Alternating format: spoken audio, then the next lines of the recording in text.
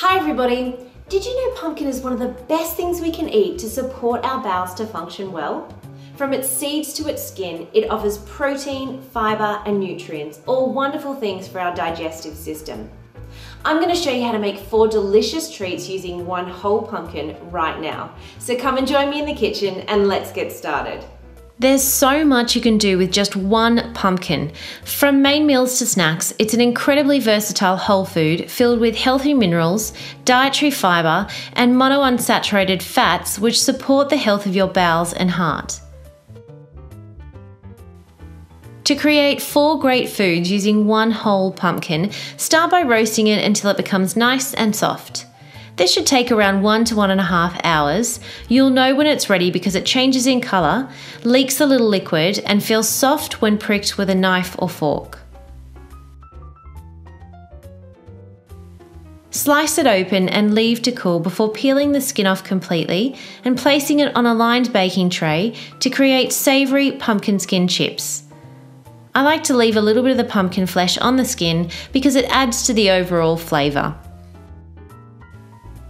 Sprinkle garlic powder and sea salt over the skins. You can also use your favourite dried herbs or spices to create different flavour combinations.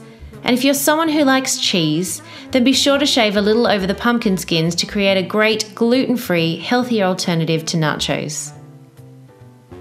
If using cheese, choose from low inflammatory kinds like manchego, mozzarella, or my favourite, goat's cheese. Gather all the seeds from the middle of the pumpkin and place them on a lined baking tray. You can include some pumpkin flesh to add extra flavour, or you can just rinse them through a strainer to clean. Spread them out evenly and sprinkle with sea salt and your favourite spices that make for a great snack filled with protein, fibre, zinc, and magnesium. Save on time, you can place both the pumpkin skins and seeds in a preheated oven as they both roast quite quickly. For this reason, you'll need to watch them closely to ensure they don't burn. It should only take about 20 to 30 minutes, but every oven is different, so please use your judgment. Once ready, leave the seeds to cool while you enjoy the pumpkin skins that can help fight yeast and other bacterial infections in your body. When the seeds cool, break them up and store them in an airtight container. Use as toppings for soup, a crunchy element in salads, they even pair well with sweet treats like porridge. Pumpkin seeds are great little powerhouses of nutrition. They're also a fantastic, nutty tasting alternative for anyone who has a nut allergy.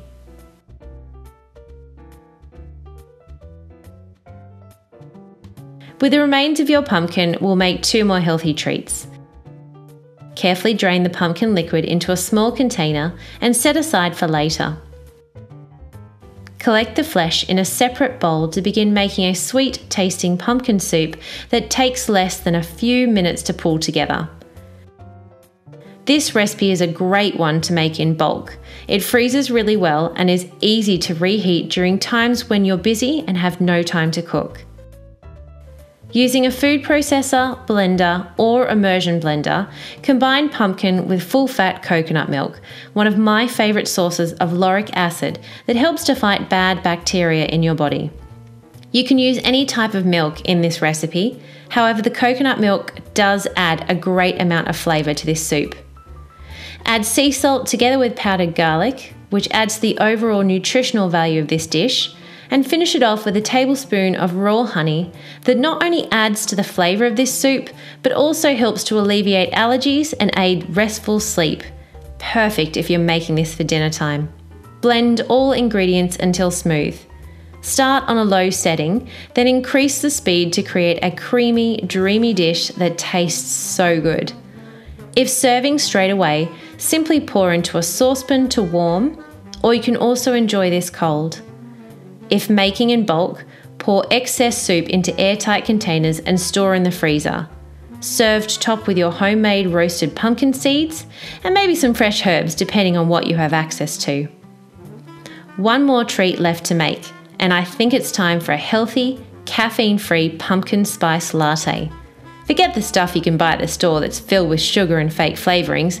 It's much healthier to make it yourself with a few simple ingredients. Combine pumpkin flesh with your pumpkin juice over a medium heat. If you don't have pumpkin juice, you can also use water. Add coconut milk or milk of your choice, together with a little honey for sweetness and some cinnamon to help stabilise your blood sugar levels and support your immune system. Whisk to combine everything together before increasing the heat to create a fast simmer. Once bubbling appears, you can whisk further or use an immersion blender to combine ingredients really well. I find using an immersion blender helps to create a nice little froth on the top of this latte. Pour into a mug to enjoy straight away, or you can also serve this chilled. Either way, it's a delicious, health supportive treat that will satisfy your sweet tooth while supporting your entire body. For the full recipe, visit www.chrissybshow.tv.